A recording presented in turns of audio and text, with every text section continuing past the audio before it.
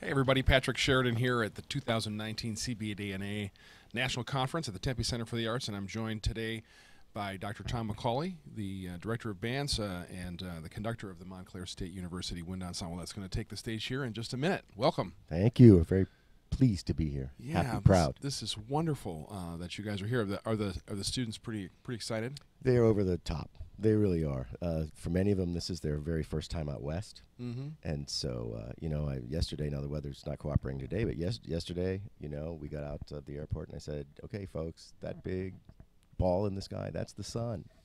so you know, because we haven't had a lot of that back home lately. Yeah, yeah.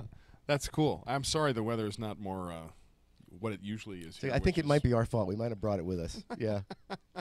Um, uh, I've had a chance to talk to everybody that's about their that we've talked to uh, about their program so far that, that, that, that has played so far, and uh, um, ev- it was interesting.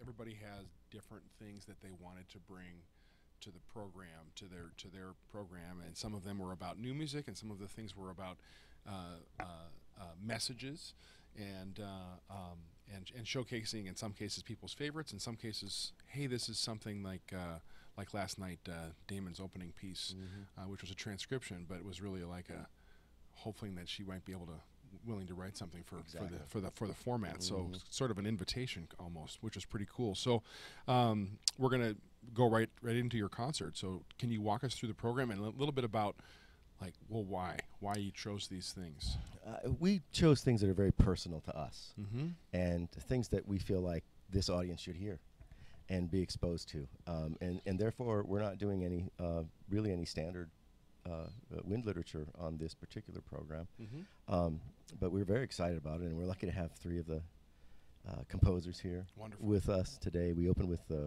uh, New Jersey composer Bruce Yurko's uh, little short one minute, 15 second fanfare that he wrote uh, in uh, uh, commemoration of Jack Stamp's uh, retirement. Right, uh, that piece uh, with the five composers did a different Mhm. movement each, That's and uh, we're doing Bruce's Bruce's movement. He's wonderful. He's a New Jersey guy, and uh, he's been out to help us several times. He's guest conducted the group. We're just so honored and fortunate to have him here and, and in New Jersey with us.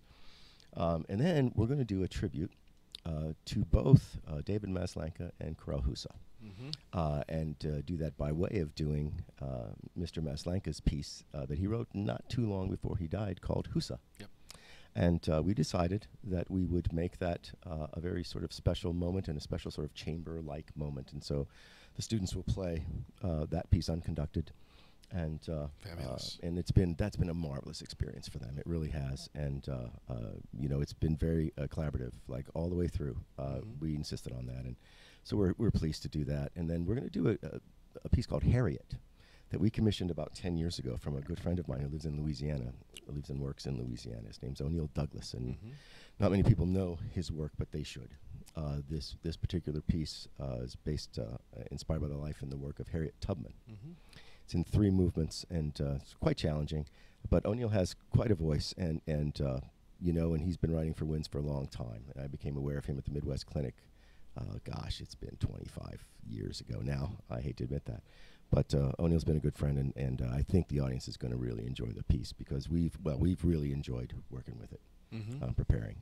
Uh, and then uh, we're going to do a, a, a marvelous piece called Last Breaths uh, by a wonderful uh, Washington, uh, D.C. based composer named Armando Bayolo. And um, he had written uh, that piece originally for a very small chamber ensemble and baritone, baritone voice and small chamber group. Mm-hmm. Well, a few years ago, David Vickerman from the College of New Jersey at the time uh, uh, sent out a, a message asking who would want to participate in a commission to have uh, Mr. Bayolo expand the instrumentation. And so that's the version we're going to play this afternoon. Um, Last Breaths is a reaction to uh, Mr. Bayolo having lived in Ferguson, Missouri at the time of all of the uh, uh, upheaval at that time Mm-hmm. a few years ago. And he, of course, like so many of us, were uh, angered by what we saw on our televisions. And, uh, and because he's an artist, uh, he did what artists do, and that is express his anger through his music.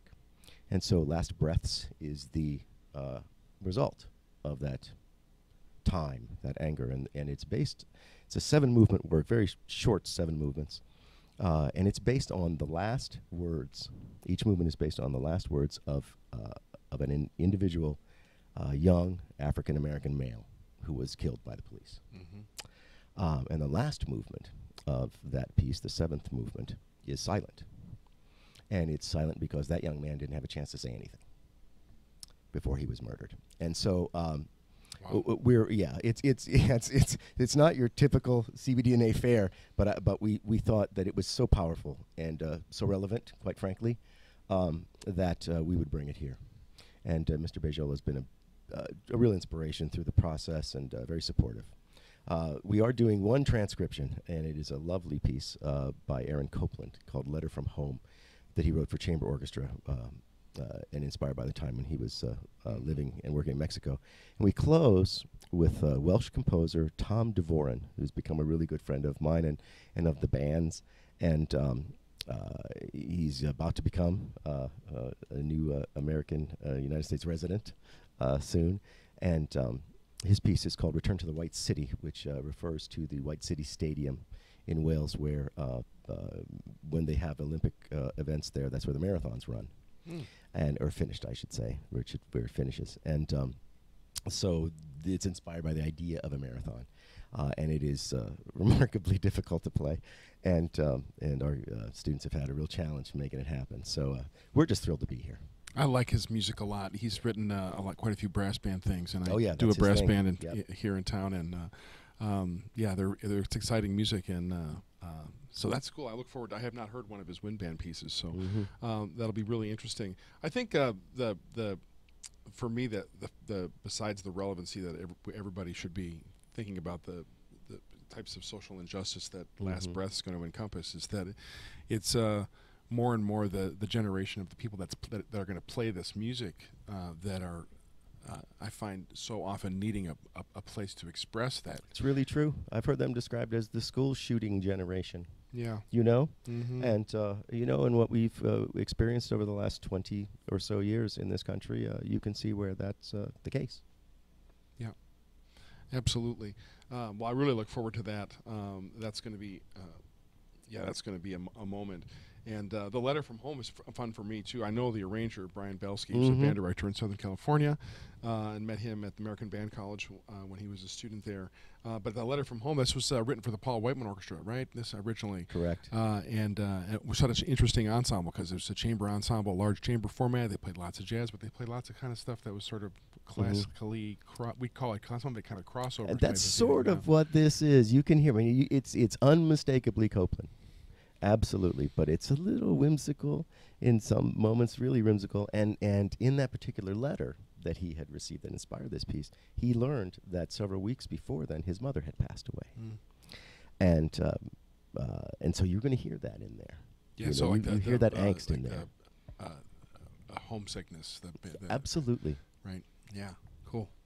Wonderful. That's going to be awesome. Um, uh, when you're balancing out a four-year curriculum Mm-hmm. for students that are going to hopefully be in that ensemble for a good portion of that, at least, hopefully two, if not more, maybe hopefully the whole four times, Yes. the whole four years.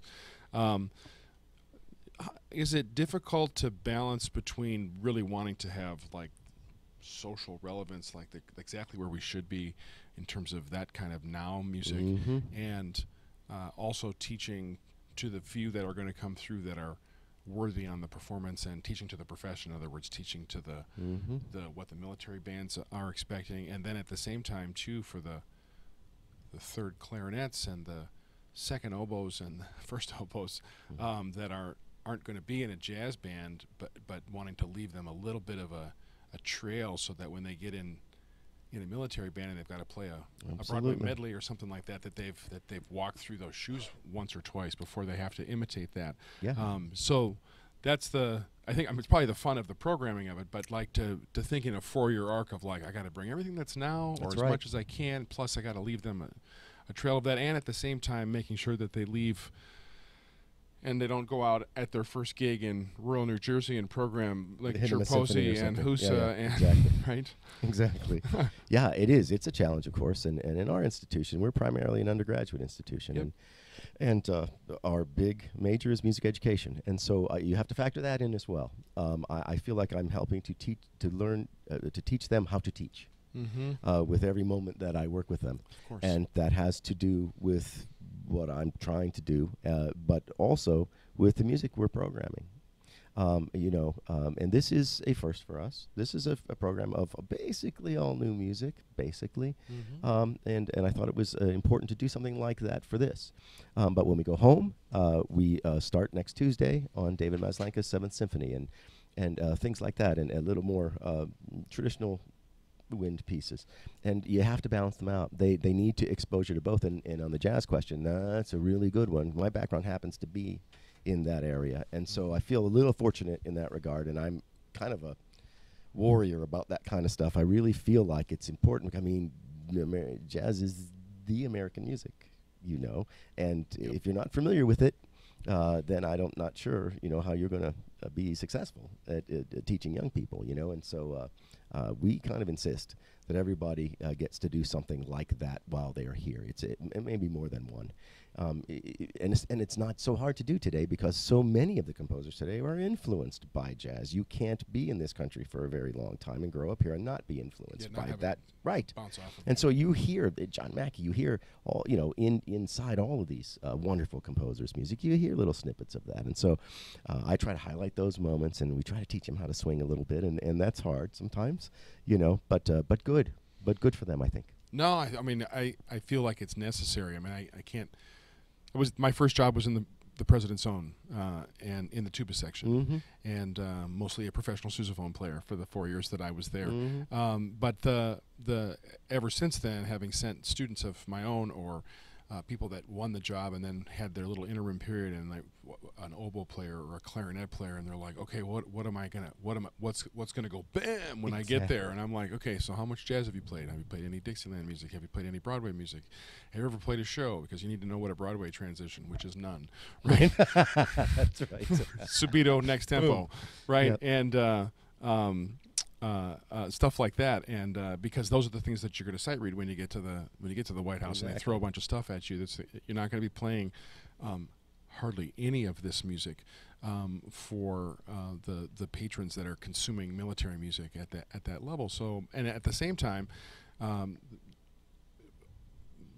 the the having to to walk through this um, information like to, like the last breaths and these are the based on the words of the last th- things that they said right Mm-hmm. uh, to to have that kind of meaning in the music allows you to bring that to those the, the same kind of It's moments exactly of, of. Miss Saigon or Yes, whatever you're, it's exactly you're the same. playing and um, um, so that that's the that's why I asked the question because I, I I know it's a it's a balancing act and I know that there's got to be some uh, occasionally some pushback from in areas inside of a school where they're like, wait a minute, why why do my students have to learn how to swing right now? They play viola and uh, oboe and bassoon, and I'm like, Do yeah, you want to make a living? right, exactly. Do you know what but, I'm but- saying? But, there's a part of this that, that we Yeah. have to teach to the profession, um, and uh, I think those are. I mean, and it's you know, it's job power. It's this like, many places that I went to school and, and have taught around the country.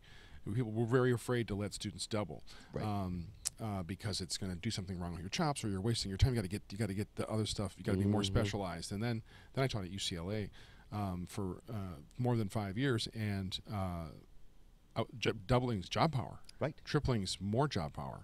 Um, and I had I had one student that came in who had gone into the military, and then he went to San Francisco and he was freelance. Then he came back to school. He was a freshman when he was 38 years old, and he played everything from tenor horn down plus the jug.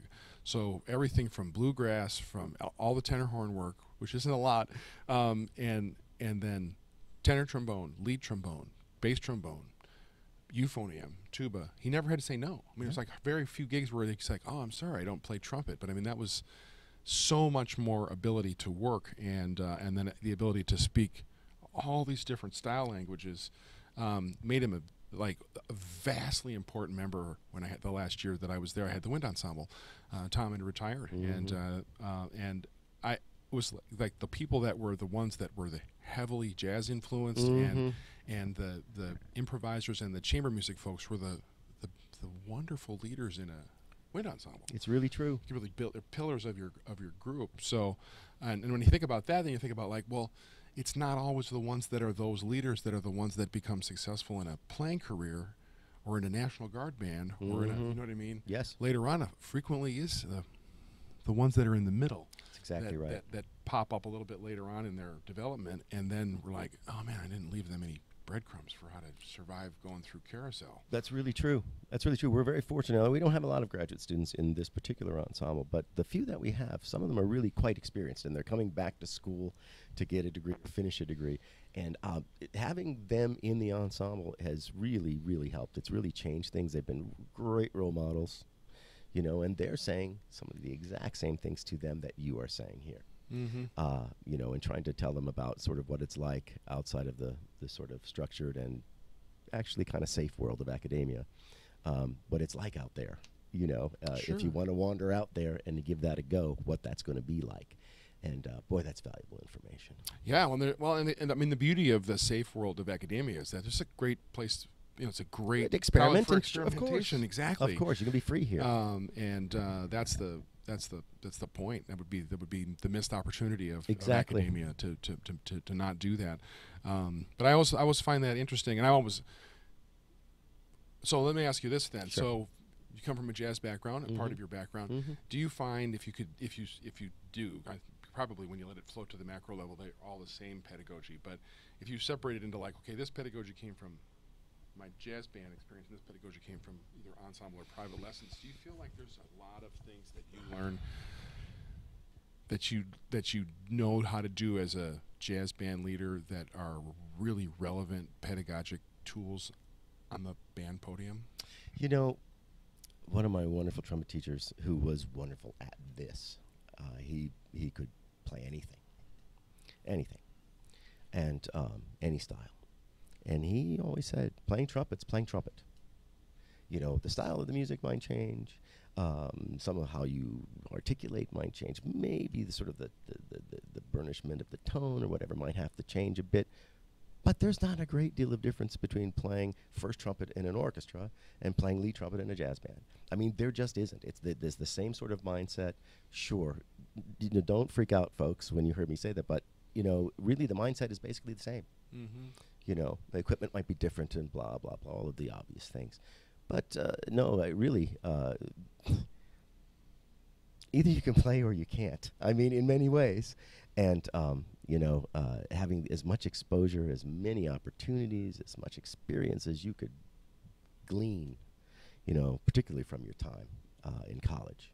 Yeah, for You know, sure. that's that's really going to make your life easier and make you a little more marketable when you get out there, Absolutely. no matter what you do. Yep, absolutely. Well, that's, some of those places there, you like a lot of those musicians show up at at uh, as music ed majors that have all these, and you're like, where did this come from? And they sometimes they come, a lot of times they come from smaller schools, which Mhm. frequently are rural. And so if they're gonna, if a band director is gonna fill it out, it's like, well, he's got to take his first clarinet player. And she's got to play lead alto in the jazz band, but then you s- then if you go teach at the school three hours later, when the second jazz band comes in during lunch, she's playing second trombone. That's right. And you're like, yeah, this is awesome. You have, I'm like, thinking, I'm like, what do you want to do when you grow up? I want to be a band director. I was like, do you have any idea how great a setup this is It's for the you? truth, man. It's absolutely the truth. Uh, and uh, so I think that's the that's like the, one of the things that I was always trying to push with uh, some of the college folks was like, well, I got a little bit extra time. What do you think I should do? It was like, oh man, you should join the Gamelan ensemble, or you should like move it around Or and go uh, sing. Go yeah, sing exactly. somewhere. Exactly. You know, join the choir.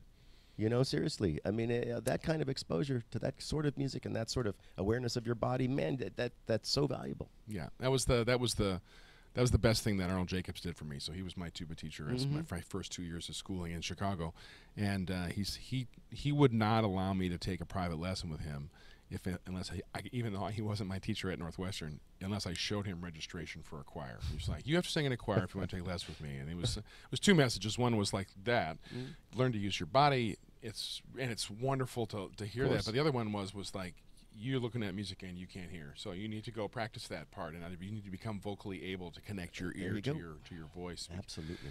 I think also too knowing that like of all the rehearsing that we do and all the information and the score study that we do, probably the thing that we use the most as a teaching tool is is singing to our students, It's- right? Well, true. Absolutely. I mean, that's the, you know one of the few ways. I mean, our instrument, the baton, makes no sound, so it's the only way we have to communicate on the podium, really. Absolutely. You know. These are great messages. This is so I'm so glad we sort of we sort of got got to this place because uh, uh, that's the I think that's the thing that is uh, an obvious thing when you're at a, an institution that's primarily undergraduate and that's uh, uh, has a large portion of it that's dedicated to music education. Yes. Um, you got to get everybody to wear a whole bunch of hats before they walk out the door for them to have any shot at being, you know, agree. surviving. I agree. It, it's not good enough just to be good anymore. I mean, the, you know, you got to be great. Yeah. You know, when you go out and apply for these jobs that 200 other people are going to apply for. Yeah, absolutely. And, but having said all those things, those are the people in the military bands in Washington D.C. or in Los Angeles, for example, that are having the most amount of success, either with a freelance career or uh, some sort of combination military and freelance career outside of it, just because they they came from a place like that where they they learned to speak all kinds of different stylistic languages. Many of them play multiple instruments. A lot of them like, like to sing. Um, and uh, um, and so they can find avenues that are that are vocational and avocational. Yep. So uh, uh, uh, imagine balance in a musician's life. Absolutely. I didn't say that out loud. I know, right? did- uh, um, um, and uh, so I think that's those are really Im- important messages to, to, to tell our audience, especially at a at an all college, uh, very high level university uh, offering. It's like yeah, but they ha- you have to have all these different skills, especially those those are the ones that make them the your prized members for performing this kind of music. Actually, um, no, I agree with that. uh, and uh, I find that I uh, my, my, the uh, associate principal trombone of the Los Angeles Philharmonic is Jim Miller. We Mhm. taught together at UCLA, and uh, he frequently, especially if he's on the first half of the show, but he's not on the second half in the trombone section, it Mhm. goes down to a three-person section. He's out the door on a Friday or Saturday night to play a salsa gig Yeah. And I'm like, what? He's like, well, you know, I, I need to, I need it emotionally, but he says it's also good for my face to be super strong. He says it's a completely different kind of Good for him. Not everybody has that kind of mindset. and I was That's like, great. that is like the healthiest thing I've ever heard from Yeah. a like a top-notch orchestral player. Like, yeah, I got, uh, what I got to take this week off because I'm playing with a hot Yeah. salsa band. I'm like, Yeah. yes. Um, but seeking that as well, uh, it's like by the time you're looking over your shoulder, going like, man, how do I balance all this stuff? Is the you know, it's like it's too late. You know what I mean? Right. To so that to to broaden your horizons musically from an ensemble standpoint at the especially when you can. Right. When you have the opportunity. Yeah, That's such a take it. great idea. Thank you so much for spending the time with us. This is a pleasure. Thank I'm you. really looking forward to this program and uh, uh, appreciate you, you know, sort of pulling back the curtain about how you put it together and why you wanted to offer what you wanted to offer. And uh, um, so it's awesome. I'm, I'm looking forward to this. As, as like I said before we, we started to roll, I've been a, a long time ago was a was a guest at Montclair State and Yep. and really enjoyed it. And a lot of those people that I that I met there. Uh, that were students. They came actually. They came to visit you last night at the box. Jen and Matt. Um, uh, but uh, and then Matt's brother Kevin was a student here at Arizona State University Mhm. um, uh, of Sam Pilafian's and myself. So it was, uh, it's uh, it's cool. I'm excited. to Sort of feel like it's almost like a like a hometown band for me, even though it's you know I I just visited just for a few days, and uh, so I'm looking really looking forward. Thanks so much for Yeah, spending time with us and and uh, and sharing your philosophy with how this all comes together. It's my pleasure. Thanks, Tom. Thank you.